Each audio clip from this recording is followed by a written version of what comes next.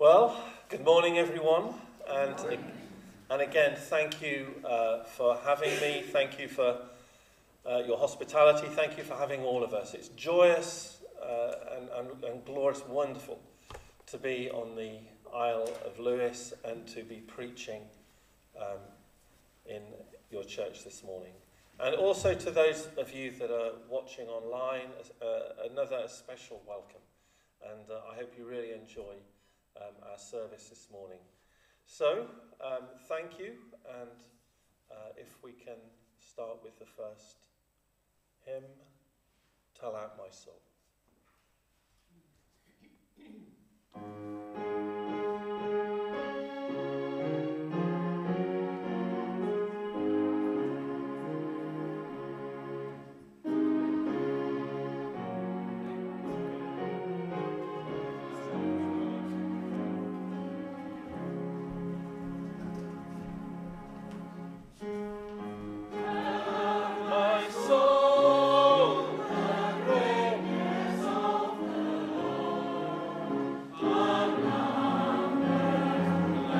Jesus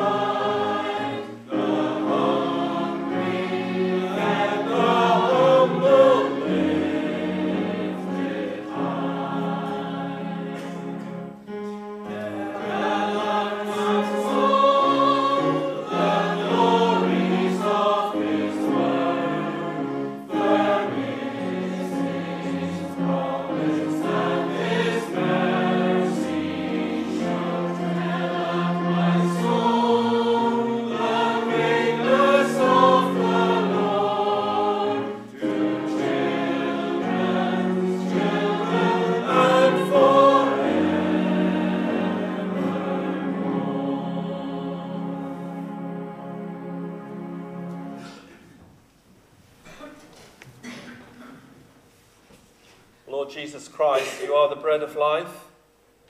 Let us this morning obtain nourishment for our souls. You are the light of the world. You are the Good Shepherd. You are the Alpha and Omega. You are the God who put the stars in its place. We desire you this morning, O God, to be with us, and we hunger for more. And we pray, Lord, this morning that you would hear our prayers for increased presence and increased knowledge of who you are. And we come to you this morning, Lord, with thanksgiving in our hearts, and that you would hear our prayers. And we ask in the name of your beloved Son, Jesus Christ. Amen. Our next hymn uh, will be When I Survey the Wondrous Cross.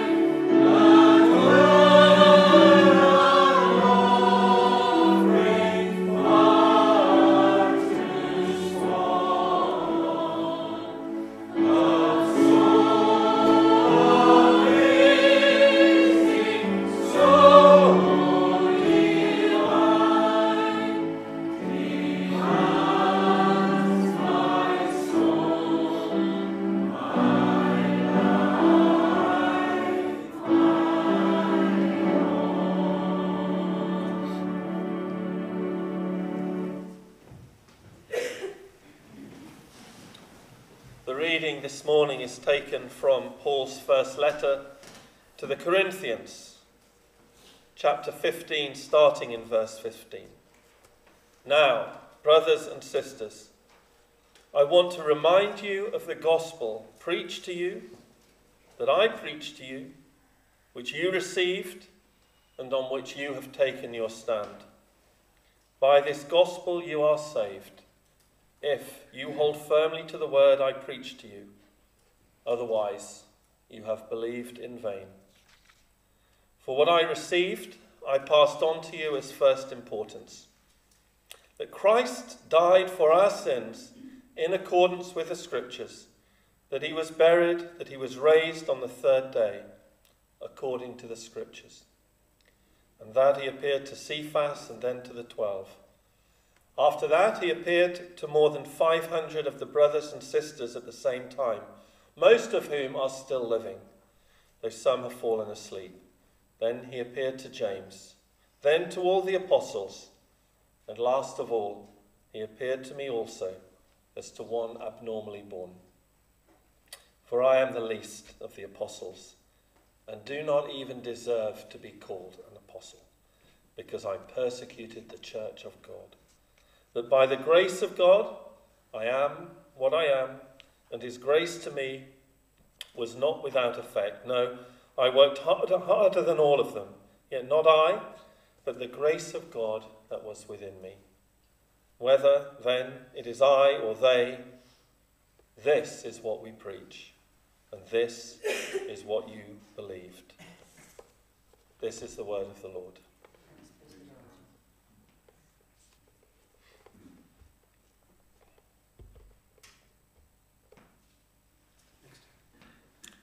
if we have the next 10 miles.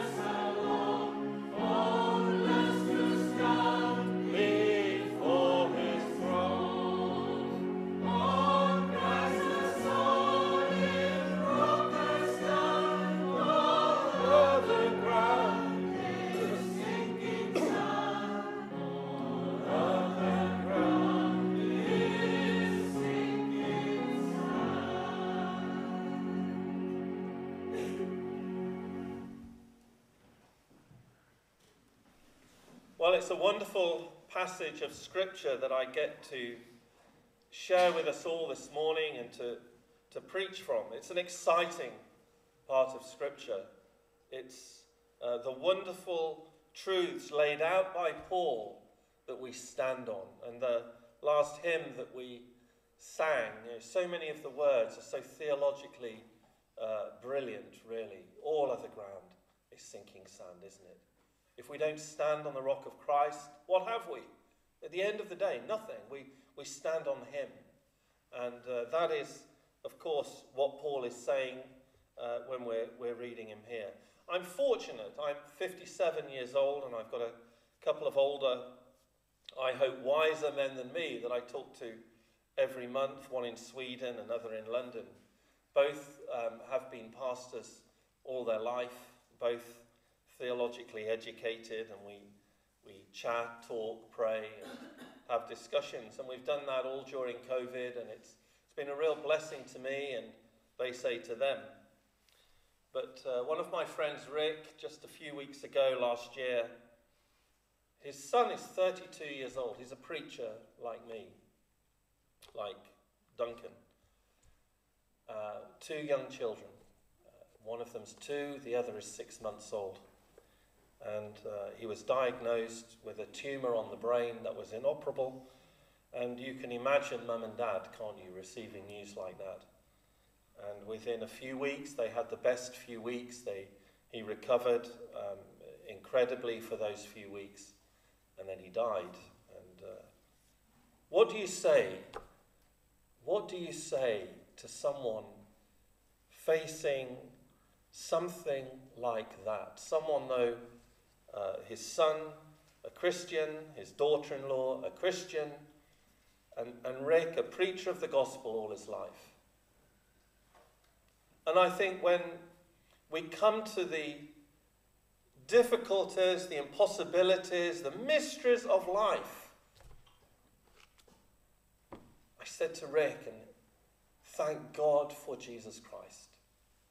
We thank Him for the little things. You know, while we've been on the Isle of Lewis, Rodney is a biologist. He's, uh, you know, he's, he's been a, a lecturer and and he, he really wanted to see a humpback whale.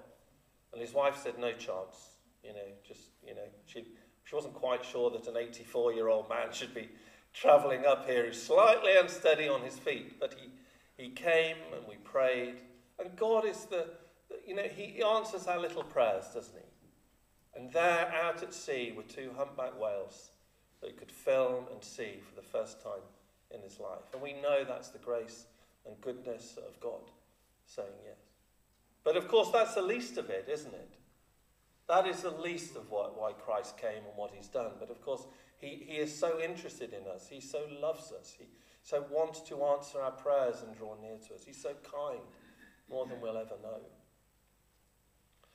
And when the rubber hits the road with life, when things happen, happen to my friend Rick, and he is feeling the pain he's feeling that pain. That, of course, is assuaged by a knowledge that his son is in a, the best place possible.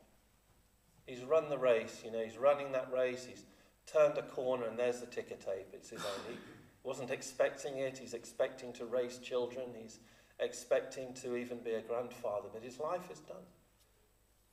And now he's with our Lord and in the, in the best place that he could ever be. That assuages some of the pain. But of course, in this life we grieve as Jesus wept at the tomb of Lazarus. And I'm saying these stories because I want to begin with the ultimate enemy of all of us is death. It's a 100% certainty. You and I are going to die. No one's escaped that. No one's walked away from that. We don't know when that will happen. We don't know if that's in a short time or whether that's in a long time. Last year, I was having a, a meal with a, a, our old next door neighbours. I didn't think that within 12 hours he would have a heart attack and die. He was 51. It was shocking to me. That's never happened to me. And that's when these words impact us. All of the ground is sinking. So it really is. And I'm here this morning to encourage us to hold fast to the faith and to believe. Because it's such a glorious hope that God will not let us go. It's a wonderful hope. Um, I, I have a battered old sort of car that uh, is, is, is a few years old, but it was given to me by a well-heeled couple, and, and 15 years ago it was sort of top of the range, and it's been a marvellous uh, car. You know, if I rave for Skoda Octavias, I don't know, but a brilliant car. And uh, this couple, they, they, that my aunt knew, they said, no, no, we'll, we'd rather give it away to someone who, so they gave it to me. And her husband, very kind man, but very good man, but not really a Christian, which his wife knew. His wife, proper Christian. And she gave me her story of how she came to Christ, which was quite wonderful. I didn't think that she would be dead in two weeks. But two weeks after she died, and her son came to see her, she was an older lady. Her son came to see her. And he said, Mum, you know you're dying, don't you? And she smiled and she said, Yes. It's very exciting, isn't it? that is how I would like to go. It's very exciting. Billy Graham was asked, Are you, what do you think about dying? I mean, he's in his 80s, then he's in his 90s. we probably thought he was going to live, live into his hundreds. And, and he said, honestly, he said, I am looking forward to it. I am looking forward to it. The burden is laid down. We get to see Jesus face to face. We, we, we're impacted. We, we're going to live with a love that we can't hardly imagine his love for us. That's the truth of the gospel. That's the truth of Christianity. That's why we hold to it, why we share to it, and, um, and really everything else. And so um, this, is, this is Paul uh, writing to the, this, the, these people who really grasp the gospel uh, amazingly. They're far from perfect, of course, the Corinthians. They're nowhere near perfect, but they've grasped the gospel. And, and Paul gives this caveat, as I would give it to all of us. You know, if you hold firmly to the word that I've preached to you in verse 2, once you believe, that's the beginning. And in a way, life can be a test to hold, hold fast to it. My encouragement is hold fast to it. It's a glorious, glorious uh, gospel and, and what God has done. Hold fast to Jesus as he will hold fast to you. The way Paul puts it, he says, Not that I've already obtained it. In, in other words, uh, salvation, yes, he's saved, but he's also being saved. And he says, Not that I've already obtained it, but I hold fast to that which Christ Jesus has taken hold of me. Jesus Christ, for those of you that believe, he's taken hold of you hold fast and pursue and be relentless in that pursuit of going forward for Jesus. That's what I want to do with my life. My prayers are that God will far exceed what I can ask or imagine in this life. But God is the, the wise one. God knows what he's doing. Praying for another outpouring of the Spirit. Asking God what he did here, do in Brighton. But whether he does it, whether he doesn't do it, my salvation, my future, my hope is all in him. Everything else is sinking sand, isn't it? So that's, that's, the, that's the, the, the gospel, the, the good news, if you will, that Paul is sharing to them. And that's what the gospel means. It's great news. And Paul's in the, the Greco Roman world and all the gladiatorial games, all the slavery, all the oppression, all the superstition, he comes with good news. He doesn't oppose actually all these things that are going on. You know, there's the Greek goddess Diana or Artemis, there's the Roman gods. He, he doesn't oppose the culture. He just lifts it up and says, I've got great news for you. I've got some great news. God has done something that has changed the whole world. Let me tell you that who this God is and what he's done. It has changed world history and it involves you because he wants you to hear it and because here I am. And so great was the gospel, so, so great was his preaching, that in places like Ephesus, nobody was going to the temple anymore. No one was buying the trinkets anymore. No one was, was spending money buying these silver statues of Artemis because they'd heard the good news of Jesus Christ. And that's what Paul did. I mean, it, it, it, was a, it wasn't easy for him, but he came into these places like Corinth and he preached the good news. It's wonderful news to believe this gospel. And the, the benefits, if you will, of just believing this, this gospel to us, I think ultimately, when all is said and done, and there are other benefits in this life, our dependency on God and everything, but He's destroyed death. He's destroyed the ultimate enemy of you and me. And that if we'll hold fast to it, we'll live with Him forever. It doesn't get any better than that. There's no greater gift that you and I can receive in this world from anyone. Remember the old proverb what profits a man to gain the world but to lose his soul? There are many who profit in this world. There are many who profit enormously in this world. They have nothing. They, they, they have nothing. They will gain nothing um, whatsoever.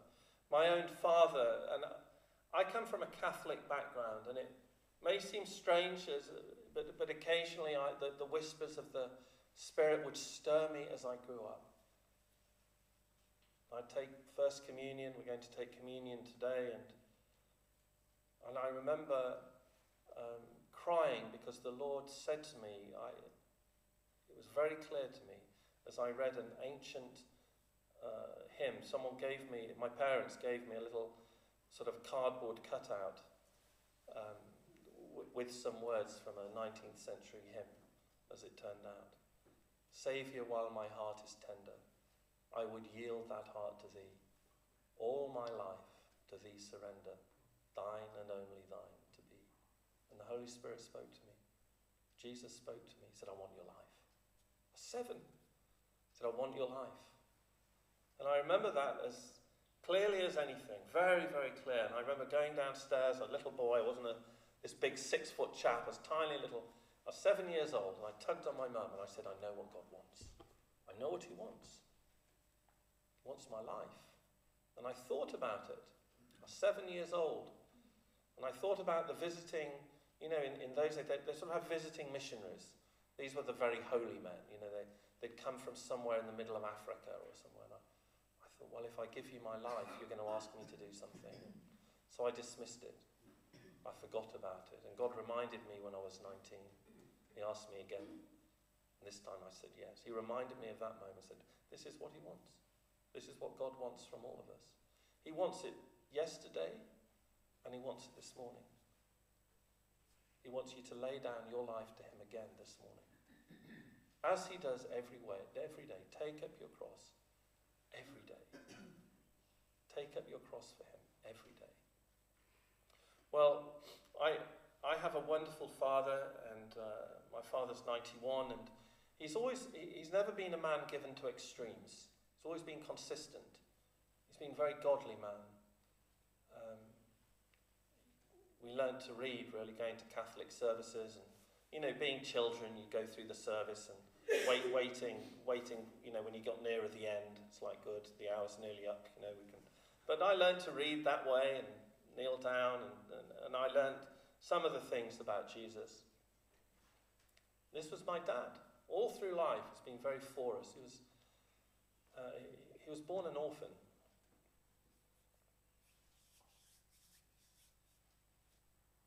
So, to see my dad, who's been there all for you, all your life, on a, he's unable to move now. He's had a stroke, he's on a bed of sickness. And you see what it's like at the end. My wonderful, wonderful father. And I've sat with him, and for the last year, the last month or two, uh, my will for my dad, who's a good man, a moral man, a faithful man. But I want to be certain that he knows it's the grace and mercy of God, the blood of Jesus, that will enable him to enter eternal life. I want him to know that.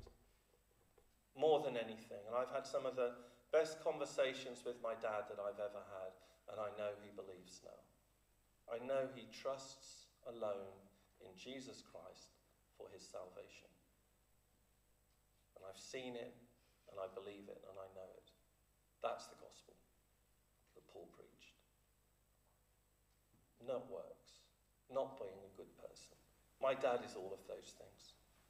And I wanted him to know that, and I have 100% certainty as I look at my dad now that very soon he will be in eternity with Jesus forever, and we will meet again. I thank God for the gospel.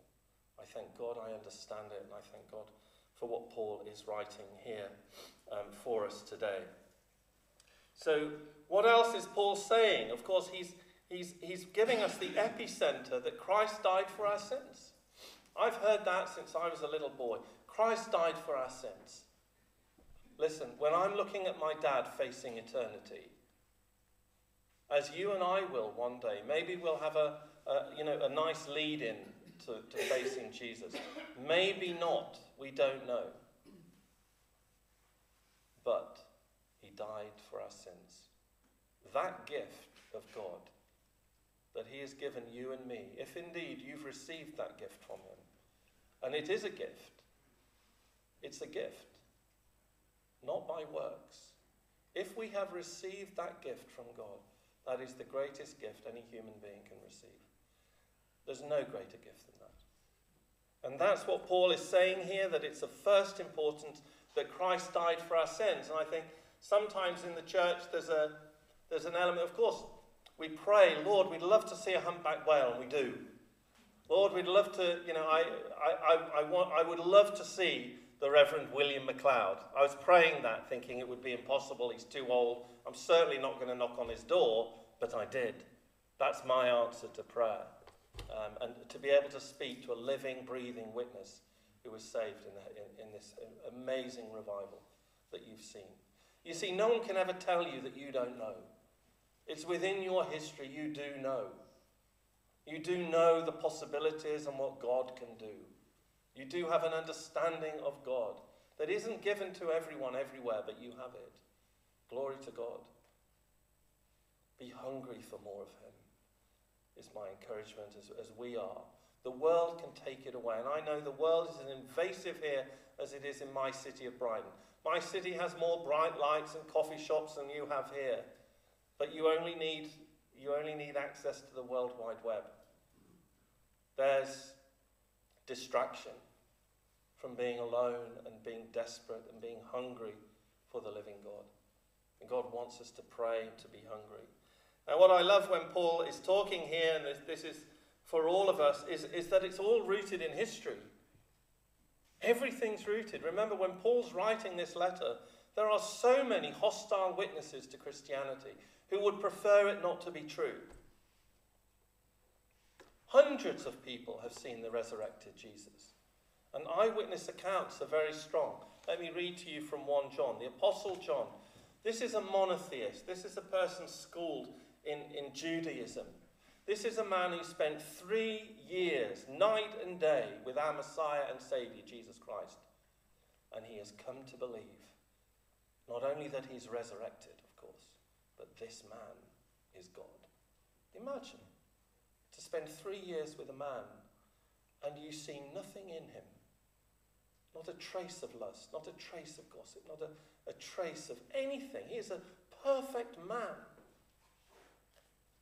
A man that he deems fit to worship. And says, That which was from the beginning, which we have heard, we have seen with our eyes, we have looked at, our hands have touched, this we proclaim concerning the word of life. John's saying, John is an eyewitness. Eyewitness testaments are very strong. He's touched Jesus, he's eaten and drank with him, he's talked with him. And as an eyewitness to the truth. And that really, again, is, is one of the things. So, course, you know, Paul's, Paul is saying here, this is true. It's rooted in history. Our faith is rooted in fact and history and truth and eyewitnesses that Jesus Christ is risen from the dead and that as a result our sins are forgiven us. Pray, isn't, isn't that glorious to know that? To know that as we step away from here today, That's the first and foremost epicenter of our faith. Oh, it's wonderful to, to, to, to, you know, I love my wife. I've married a wonderful wife. She's very good for me. Siberian wives tend to be good for people. My children are fantastic. I love my kids, you know. I, I, I love being a dad. I love where I live. I love our church fellowship and our family. But when all is said and done, my sins are forgiven me. That's the great gift. Oh, I'm surrounded by other gifts, as you will be, surrounded by gifts from God, who's good to you. But the greatest gift, the greatest gift, is that your sins are forgiven you, paid for in full by the God man who died on the cross for our sins. And um, Paul then kind of concludes, as I will uh, conclude from, the, from the, the, the, importance of this gospel and the, the people that are there, to um, the describing himself. I am the least of the apostles, he says. He says another time to Timothy, he something like um, uh, when he's when he's talking, he said, "Here's here's a, a trustworthy saying that deserves full acceptance. Jesus Christ died on the cross for sinners, of whom I am the worst." Imagine saying that about yourself. Paul really did feel that. Paul was chosen. Yes, he's intellectually brilliant. He's a schooled under Gamaliel, all of these things. But, but really, one of the things you'd look at Paul would be that you persecuted and killed Christians. You were an evil man. And now you're proclaiming love. This is the apostle that wrote 1 Corinthians 13, love. Now you're proclaiming this gospel. Now you're going out. You see, God uses the weak things to shame the wise. Paul is really saying, That's me. And, and when he's saying, I'm the least, he means it. God chooses the least. Now, when we look at ourselves so often, we think, well, we're not noble birth, as I said last night, or we're, we're not that important. Fantastic. Then you can be used by God. Because God chooses the least. So often, because then no one can boast, because then his glory is known. And I think in many ways Paul exemplified that and of course, he worked harder than everyone else um, to be able to take the gospel and for people to um, see him and look at him as, as, as the kind of embodiment of Jesus Christ. So I'm saying that because, you know, on an island, the Outer Hebrides, this little island in the world, known all over the Christian world, God can do it again through you. Will he do it again? That's down to God. But he can, and you can ask, and you can pray, and you can be hungry because you know what God is capable of doing. You know the gospel is true. You know your sins are forgiven. And so the good news has to be shared, it has to be proclaimed. That's what it's called, really. It's, it's a, it has to be proclaimed to those around you. It has to be known to those around you because it's true, because it is, it is the message of God. It is God's message to your community and to the wider world. And that's my encouragement to you today. Be encouraged with all that God is doing, all that He will do. And when you walk out of these doors today, you know, just have a little jump in your, my sins are forgiven me. My sins are forgiven me. And as we take communion in a moment, we're reminding ourselves, his broken body, we're reminding ourselves of the blood of Jesus. His blood, his body, not ours. Amen? Amen. Amen. So we're going to take communion in a moment, and Margaret, if you'd like to sing the next hymn, thank you.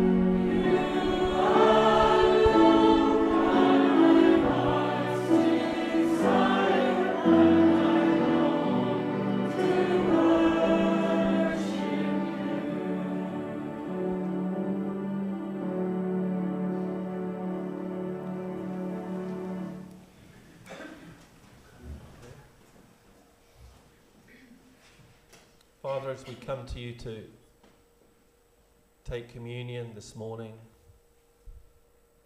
we ask, Lord, if there's anything in our hearts that is in any way offensive to you, anyone we need to make up with, anything at all that you would show us by the power of your Spirit, Lord, and convict us. Reveal to us again once more this morning that you are holy and that you're making us holy and that we are holy. In Jesus' name. So just have a think about that just for a moment or two and just talk to the Lord. Confess your sins to Him. And God is faithful and He will forgive you all of your sins.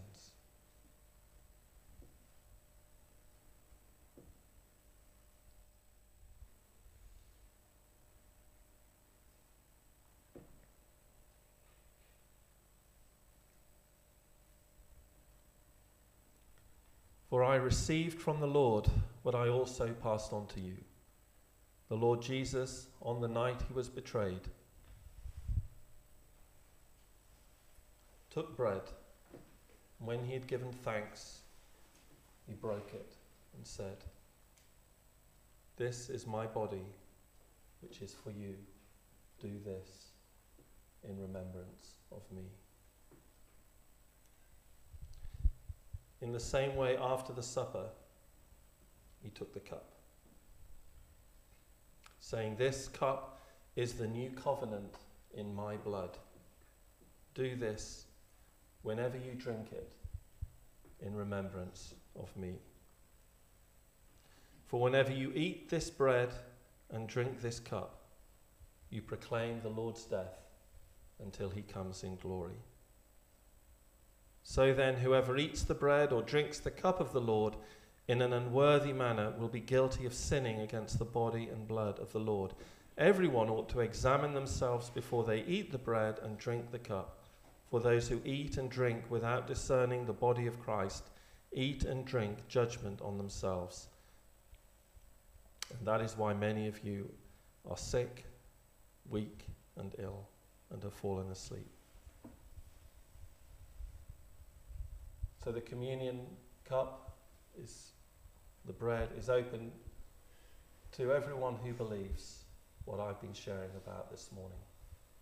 And you can take communion this morning with joy, with joy on your face, knowing that as you take this, you're remembering His body and His blood has taken away all of your sins. So when you're ready. So let's take the bread together.